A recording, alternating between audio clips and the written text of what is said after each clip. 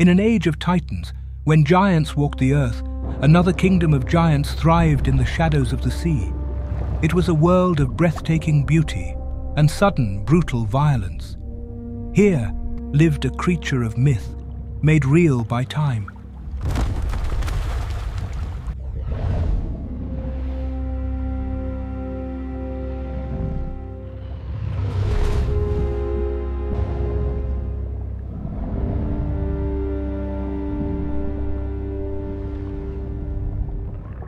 The Western Interior Seaway, a vast, shallow ocean covering the heart of ancient North America.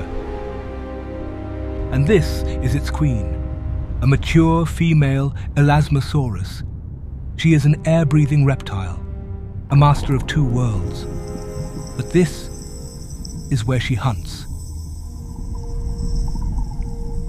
Her body, a barrel of muscle, gives her grace and endurance, but her true weapon is her neck. Longer than the rest of her body combined, it is a marvel of evolution. Hunting requires patience and precision. Approaching from above, her prey is often unaware of the danger until it is far too late.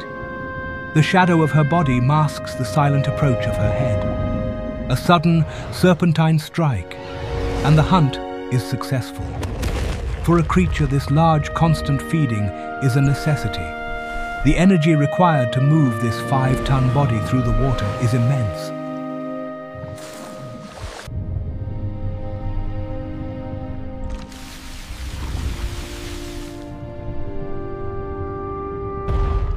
But energy expended also attracts unwanted attention. In this ocean, there is always a bigger fish. The mosasaur, a true sea monster. It is a creature of pure power, and it senses vulnerability.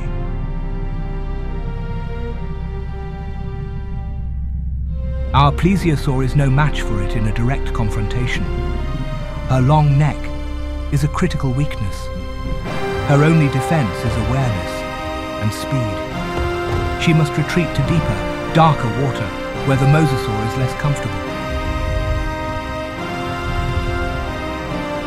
It is a tense retreat into the abyss. Safety is temporary. But today, the escape was for more than just one life. She is heavy with young.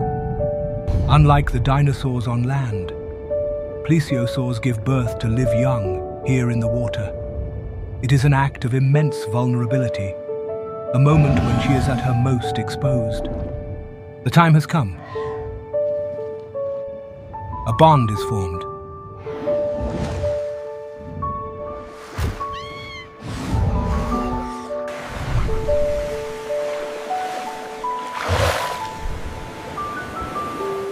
For the next year, the calf will be her entire world. The vast, dangerous ocean is no place for the young and inexperienced. The lessons must be learned quickly. How to hold its breath, how to use its flippers for agility, and most importantly, how to hunt.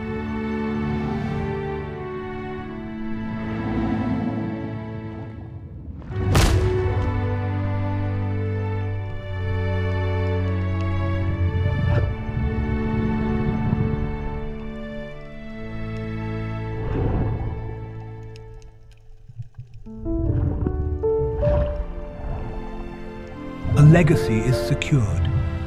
The young hunter is learning. Soon it will be large enough to continue the lineage of these magnificent sea dragons.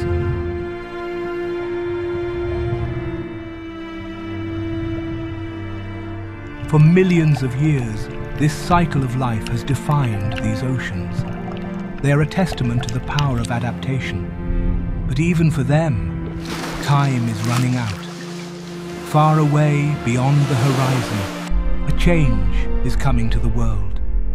A change that not even these masters of the deep will survive. Their world would vanish, but their story, written in stone and fossil, endures. A reminder that for a time, real dragons ruled the waves.